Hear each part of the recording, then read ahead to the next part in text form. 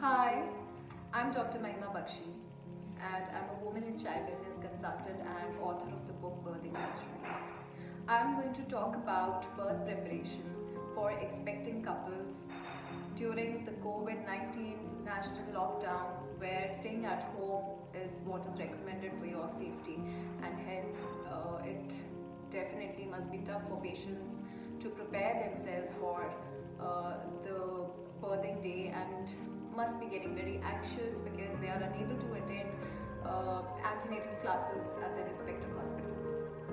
So to ensure that we take care of uh, all our expecting couples for the uh, for the, the, the due day when their baby is going to arrive into this world, um, I'm going to share some tips with you on birth preparation.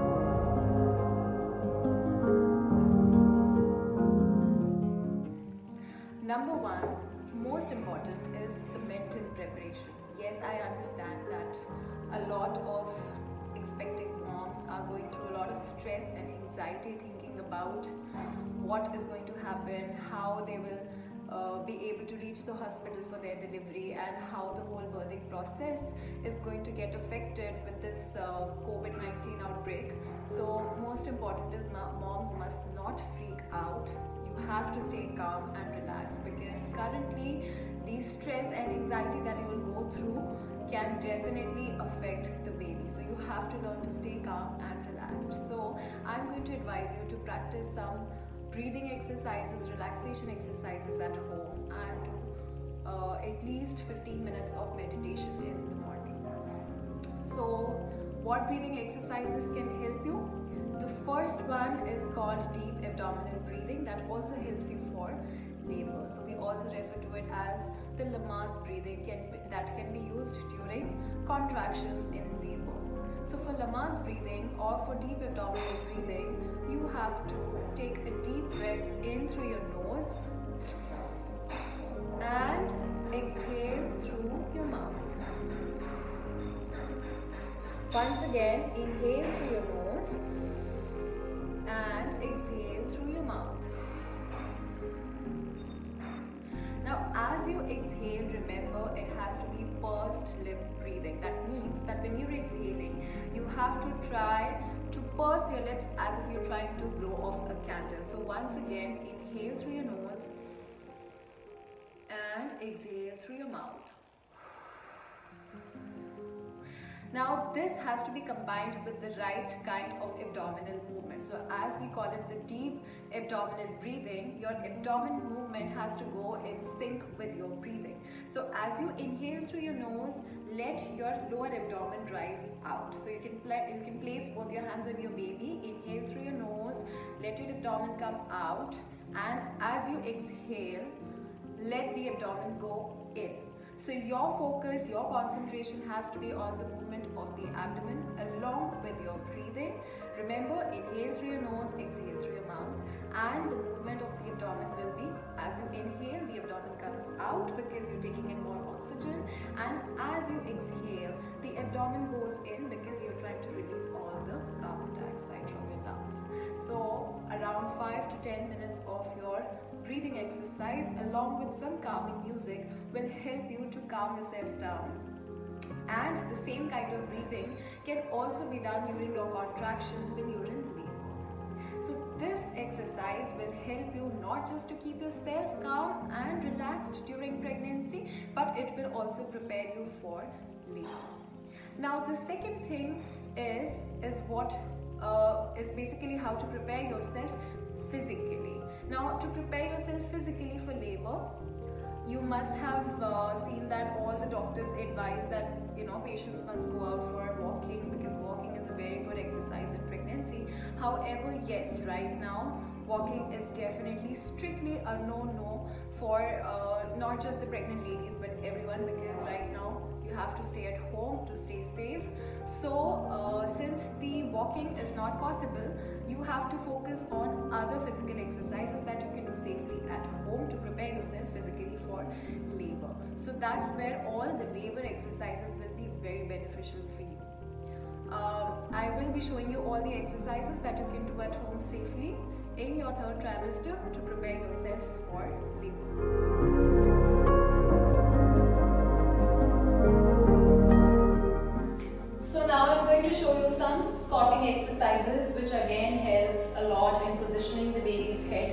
quality for labor and it also helps in making your labor smoother, easier and shorter. So squatting exercises can be done 30 weeks onwards provided that you don't have a breech baby. It's not recommended if the baby is breech. So for squatting, you need to give shoulder width gap between your heels, your toes pointing outwards, arms stretched out and your back straight. And now we're going to bend the hips down till about 90 degrees. So these are 90 degree squats. So if you can see, I'm bringing my hips down and up. So during squats, it's important that you keep on breathing. Remember, do not hold your breath. So again, I'm going, I'm first going to breathe in. While going down, exhale. Again, inhale. While going down, exhale. Once more, inhale. While going down, exhale. So the back must be kept straight if you try to do your squats like this, this is absolutely no. It's a wrong posture. The right posture, you have to keep your back straight, bend your knees outwards and go down. So while going down, exhale, up, inhale.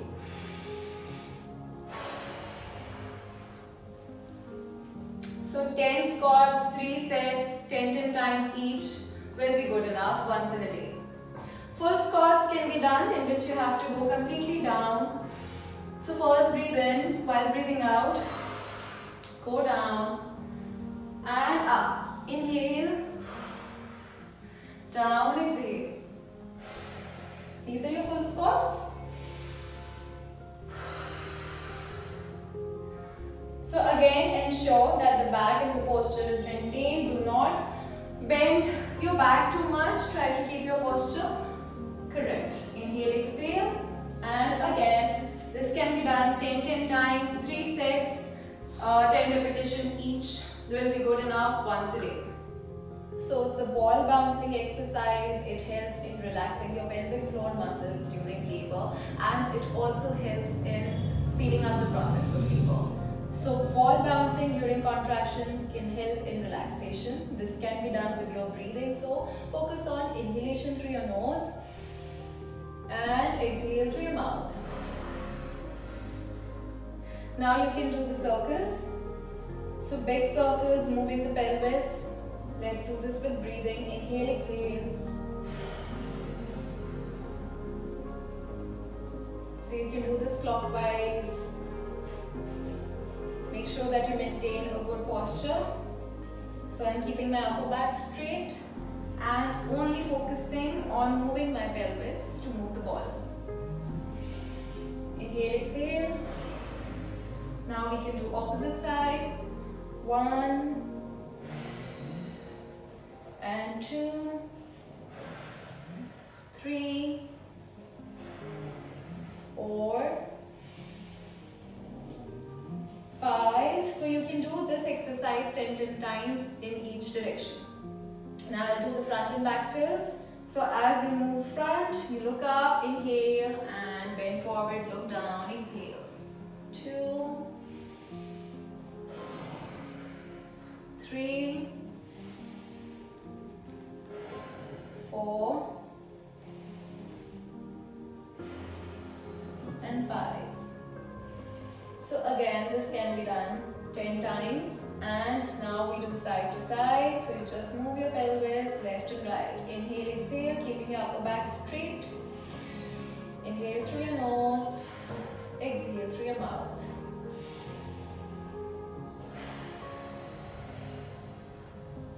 now we can do this with the side stretches and bending so moving the upper body towards one side. This is the side bend, the side stretch. You'll feel a stretch in your thigh and on your sides. Inhale, exhale. And the other side. Inhale, exhale.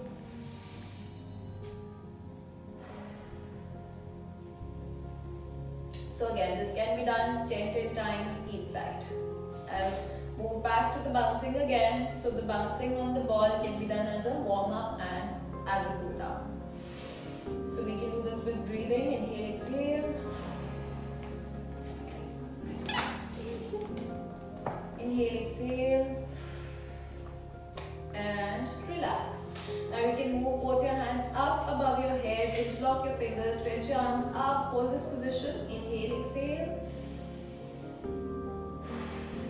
So this will help in correcting your posture and in stretching your muscles. Again, this can be done 10 times. So all these exercises are the ball exercises and this is what we refer to as the birthing ball which is very helpful in labor and it helps in actually, it acts as a natural pain relief technique. So ball exercises during labor really helps you in taking control over the labor contractions in terms of controlling the intensity of the pain naturally.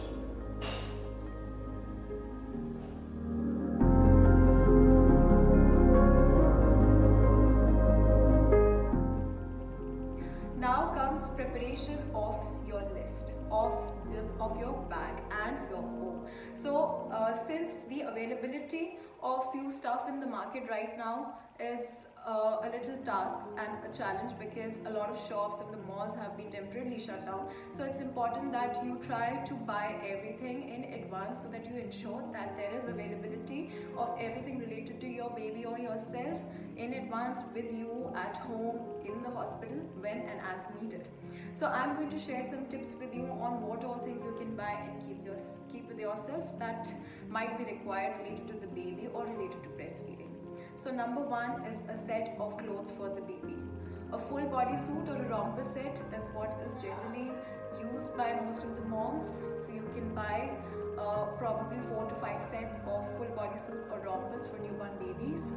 Uh, you need socks, cap, mittens, at least four to five sets because you might change it at least twice a day for the baby. So considering the availability for minimum at least three. Uh, then you need a baby blanket. You would need a swaddled sheet. Also a burp cloth, baby towel, a soft towel for the baby and set of diapers for the newborn baby. Um, it's better to use some organic or rationary diapers these days and baby wipes, some, some cotton. You would need some maternity pads for yourself, a feeding bra which is very important which should be non-padded and non-underwired and needs to be one size bigger, it should not be tight. You would need some olive oil which will help you for breast massages, which also helps in lactation and a backup of a breast pump which might be needed, might help you in case you develop breast engorgement or in case due to any reason if the baby is unable to feed or empty the breast. So these are the essential things that you would definitely need. Other than this, a sterilizer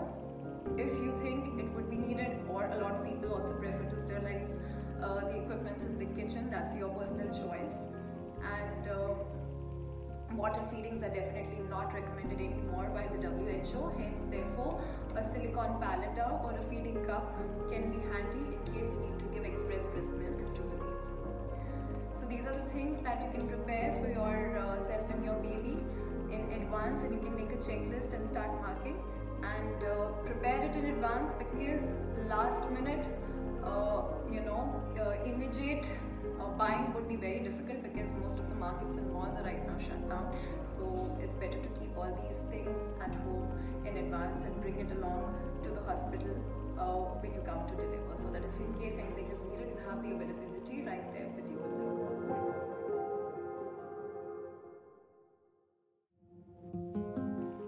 Now I will talk about preparation of husband which is your birthing partner. So your birthing partner has to be very well emotionally connected with you because uh, your partner is going to be somebody who's going to be present with you during the time of labor, uh, after labor and with you during those three days when you need the maximum support. So emotional support is the key factor is the, is the major uh, uh, support from the partner enhancing and encouraging the ability of, of a woman to deliver naturally. So it's important that your birthing partner should be emotionally very supportive and should encourage and motivate you to let you know that you're not going through the whole process alone but yes the partner is also there with you. So emotional motivation and encouragement is number one.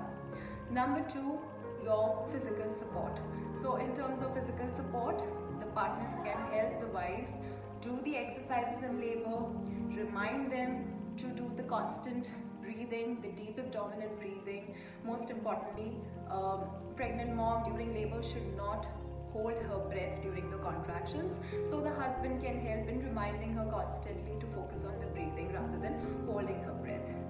Number three, the partner can play some soft calming music. So you can prepare a collection of the uh, tracks that you would like to listen to. Should be soft calming music during labor. And the husbands can ensure that they play that music uh, for the wife so that it helps in, in relaxing the body, in distracting the mind from the contractions. Then comes labor massages, which is really, really effective to an extent that actually a lot of moms get so relaxed and uh, it helps in stimulating, in stimulating natural endorphins in the body. So for labor massages, uh, better, definitely better, you should avoid touching the core area of the mother because it depends upon the pain intensity that she is going through. But uh, as of now, through this uh, uh, video session, I would like to advise you to just try soft calming massages on the shoulder, your upper back, your hands, your arms, and uh, the foot. So these spots can be safely touched because right now I uh, physically can't teach you the massages to be on a safer side. Your upper back massages, I'm repeating again, neck massages, arms, hands, right, and foot massages will help in releasing natural endorphins in the body, which can help till quite an extent for you to uh, take control over the pain in labor.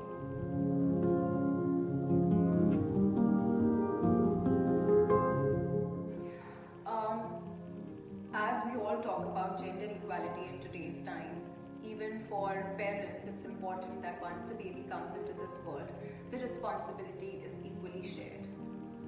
Your little one has a huge expectation from not just the mother but also the father, also the grandfather and the grandmother, and the other family members as well. So it's important that the entire family plays their own respective roles in terms of sharing the responsibility in taking care just the little one but also the mother of the little one.